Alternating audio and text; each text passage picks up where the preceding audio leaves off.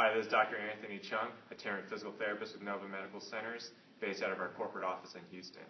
Uh, today I'm going to go ahead and just demonstrate uh, progression of a commonly used exercise, the bird dog, uh, for your chronic low back pain patients. Um, great for you know our drivers uh, that do a lot of repetitive lifting from various heights and of various sizes. Um, current research states that holding an isometric contraction for about five seconds induces muscle hypertrophy in the lumbar multifidus, and that's what we'll try to simulate today. Make sure the pelvis is in a nice neutral position, and go ahead, form an opposite arm leg raise, and hold for about five seconds. You can then alternate and progress from there.